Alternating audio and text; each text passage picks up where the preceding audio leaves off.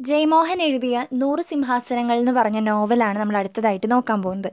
ഈ ഒരു നോവലിന്റെ പ്രത്യേകത എന്ന് പറഞ്ഞാൽ മലയാള സാഹിത്യത്തിൽ തന്നെ ഒരു വഴിത്തിരിവിനെ അടയാളപ്പെടുത്തുന്ന ഒരു നോവലാണ്. കൂടാതെ ജയമോഹൻ മലയാളത്തിലും തമിഴിലും ഒരുപോലെ അറിയപ്പെടുന്ന ഒരു എഴുത്തുകാരനും നിരൂപകനൊക്കെയാണ്. ഇനി ഇതിലെ കഥയിലേക്ക് കടക്കുമ്പോൾ കഥാപാത്രങ്ങളായിട്ട് വരുന്നത് ധർമ്മപാലൻ എന്ന ഐ ഓഫീസർ. അദ്ദേഹം ഒരു നായാടിയാണ്.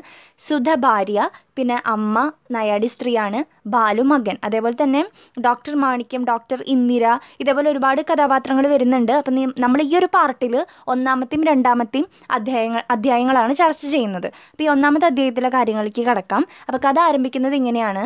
അദ്ദേഹം ഓഫീസിലിരിക്കുകയാണ്. അപ്പോൾ കുഞ്ഞ് കുഞ്ഞൻ നായർ എന്ന് പറഞ്ഞ ആൾ വന്ന് കടന്ന് വന്നിട്ട് പറയാണ് താങ്കളുടെ അമ്മേനെ ഞാൻ കണ്ടിരുന്നു. വളരെ മോശപ്പെട്ട അവസ്ഥയിലാണ് കണ്ടത്.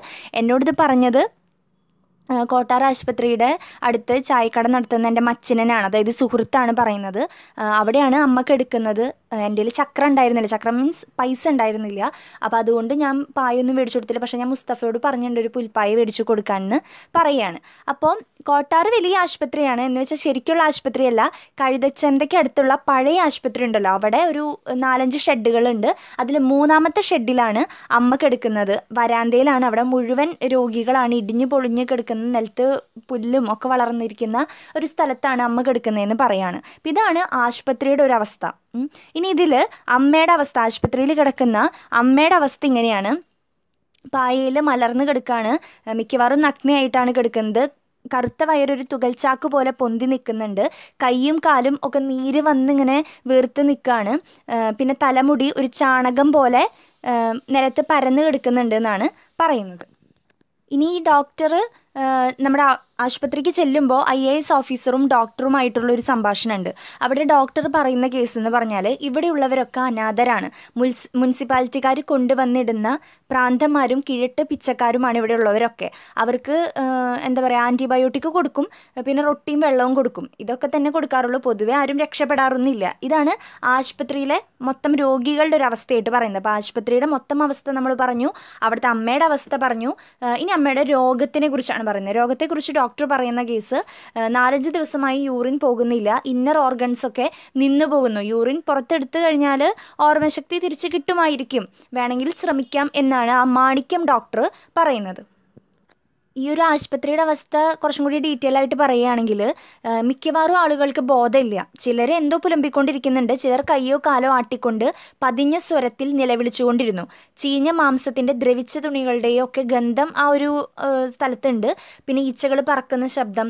ഇതൊക്കെയാണ് അവിടെ കാണാനായിട്ട് പുല്ല് മുളച്ച് നിൽക്കുന്നുണ്ട്. അങ്ങനത്തെ ഒരു മോശപ്പെട്ട അവസ്ഥയാണ് ഒരു ആശുപത്രി. എന്നൊന്നും പറയാൻ പറ്റില്ല. പിച്ചക്കാരൊക്കെ കൊണ്ടിടുന്ന കോട്ടാർ എന്നുള്ള ആശുപത്രിയുടെ അടുത്ത ഒരു സ്ഥലം മാത്രമാണ്. ഷെഡിലാണ് ഈ രോഗികളെയൊക്കെ കിടത്തിയിട്ടുള്ളത്. അപ്പോൾ ഈ മാണിക്യൻ ഡോക്ടർ ഇതൊക്കെ പറഞ്ഞ് മാണിക്യൻ ഡോക്ടറുടെ അടുത്ത് ഇതെന്റെ അമ്മയാണെന്ന് പറയുമ്പോൾ അദ്ദേഹം പറയുന്ന കാര്യങ്ങളുണ്ട്. അതായത് ഞാൻ എസ് സി കോട്ടയിൽ വന്നവനാണ്. എല്ലാവരും എന്നെ ഒരു എന്താ പറയുക തോട്ടി ഡോക്ടർ എന്നാണ് വിളിക്കുക. എന്റെ നാട്ടിൽ പോയാൽ അങ്ങനെയുള്ള പേരാണ് എനിക്കുള്ളത്.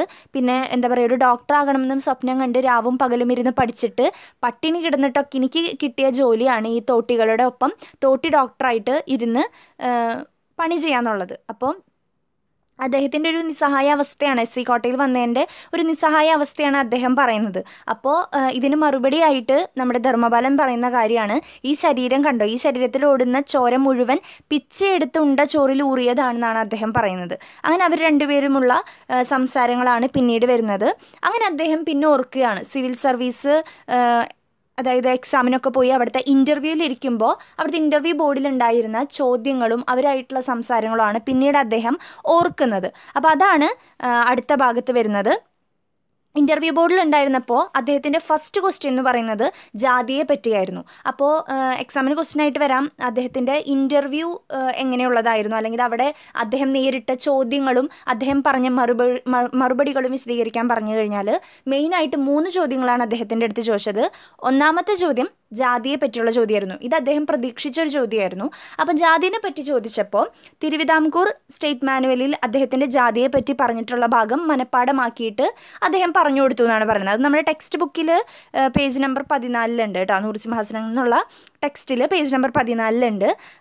നായാടികൾ അലഞ്ഞു തിരിയുന്ന കുറുവരാണ്.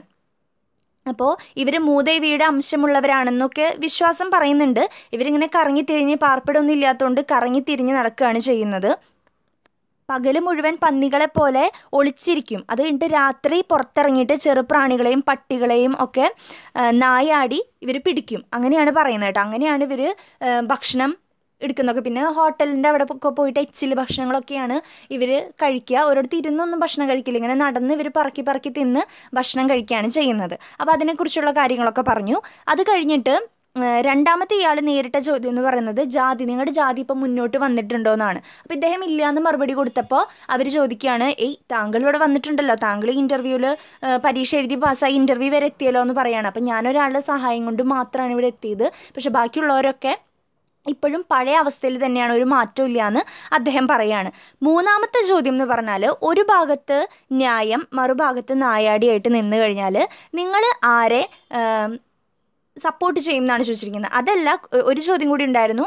കൊലപാതകം ഒരു ഭാഗത്തും ഒരു ഭാഗത്ത് നായാടി ആയിട്ടുണ്ടെങ്കിൽ നിങ്ങൾ ആരെ സപ്പോർട്ട് ചെയ്യും? കൊലപാതകം ചെയ്ത നായാടീനെയാണോ മറുഭാഗത്തെയാണോ സപ്പോർട്ട് ചെയ്യാന്ന് ചോദിച്ചപ്പോൾ അദ്ദേഹം പറയുന്നത് സാർ കൊലപാതകം തന്നെയായാലും ആ നായാടി തന്നെയാണ് നിരപരാധി. അവനോട് തന്നെയാണ് എന്നും അനീതി കാട്ടിയിട്ടുള്ളതെന്നാണ് അദ്ദേഹം പറയുന്നത്.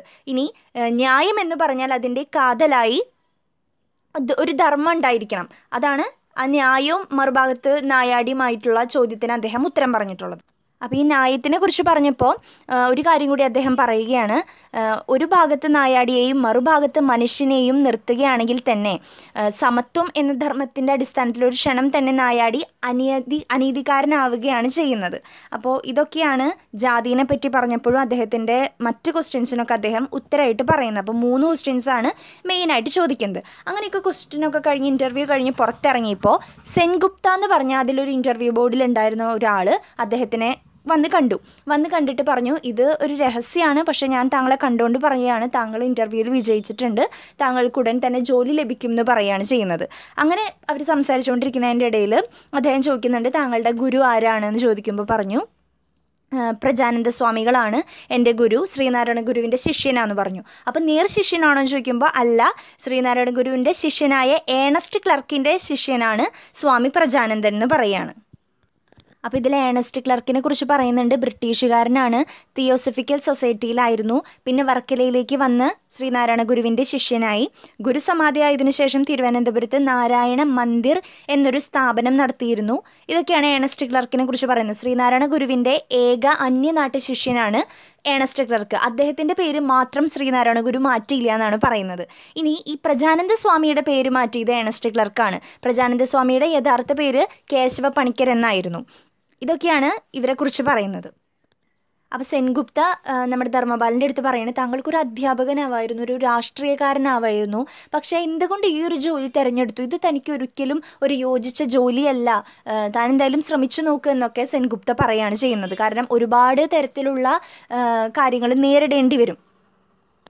അവഗണനകളായാലും ഒരുപാട് കാര്യങ്ങൾ നേടി നേരിടേണ്ടി വരുന്നതായതുകൊണ്ട് ഈ ഒരു രംഗം തനിക്ക് യോജിച്ചതല്ല ഒരിക്കലും. താങ്കൾക്കൊരു അധ്യാപകനൊക്കെ ആവായിരുന്നില്ലേ എന്നാണ് സെൻഗുപ്ത ചോദിക്കുന്നത്. അങ്ങനെ ജോലി കിട്ടി. ആദ്യത്തെ നിയമനം തമിഴ്നാട്ടിലേക്കായിരുന്നു. തമിഴ്നാട്ടിലേക്ക് വന്ന് ഇദ്ദേഹം തലേദിവസം വന്ന് നോക്കുമ്പോൾ സിംഹാസനം പോലെയുള്ള വലിയൊരു കസാരയായിരുന്നു അവിടെ ഇരുന്നിരുന്നത്. പക്ഷേ പിന്നീട് പിറ്റത്തെ ദിവസം അദ്ദേഹം അവിടെ ജോലി ചെയ്യാനായിട്ട് വന്നപ്പോൾ ഒരുപാട് പേര് ഇരുന്ന് പഴകിയ ഒരു ചൂരൽ കസാരയായിരുന്നു അവിടെ ഉണ്ടായിരുന്നത്. അപ്പോൾ എല്ലാവരും ഈ ഐ ഓഫീസർ എന്ന് പറയുമ്പോൾ നീ ഭരിക്കാൻ വേണ്ടി ജനിച്ചവൻ എന്നാണ് പറയാറ് ഐ എ എസ് ഓഫീസേഴ്സിനൊക്കെ. പക്ഷേ അവനോട് അതായത് ധർമ്മപാലനോട് ഒരാളും അങ്ങനെ പറഞ്ഞിട്ടില്ല എന്നാണ് പറയുന്നത്. അയാളെ എല്ലാവരും കണ്ടിരുന്നത് നീ അതല്ല എന്നുള്ളൊരു ഒരു വരി മനസ്സിലിട്ടുകൊണ്ടാണ് എല്ലാവരും കണ്ടിരുന്നതെന്നാണ് പറയുന്നത്.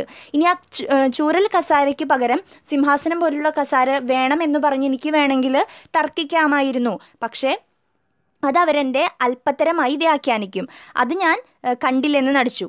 അതിനെ അവർ എന്ത് ചെയ്തു? ബലഹീനതയായിട്ടാണ് മനസ്സിലാക്കിയത് എന്നാണ് പറയുന്നത്. അപ്പോൾ ഇത്രയും കാര്യങ്ങളാണ് ഈ ഒരു പാർട്ട് വണ്ണിൽ പറയുന്നത്.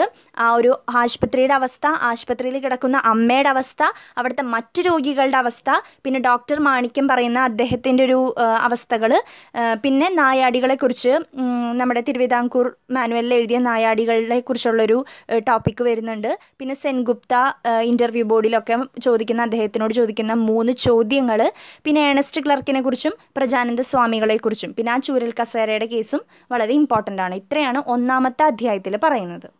ആദ്യത്തെ രണ്ട് അധ്യായങ്ങൾ ഇതിൽ ഉൾപ്പെടുത്താമെന്നാണ് ഉദ്ദേശിച്ചിരുന്നത്. പക്ഷേ നമ്മൾ പറഞ്ഞു വന്നപ്പോൾ കുറച്ച് ലോങ് ആയതുകൊണ്ട് അടുത്ത വീഡിയോയിൽ രണ്ടാമത്തെ പാർട്ട് ഉൾപ്പെടുത്തുന്നതായിരിക്കും. Thanks for watching.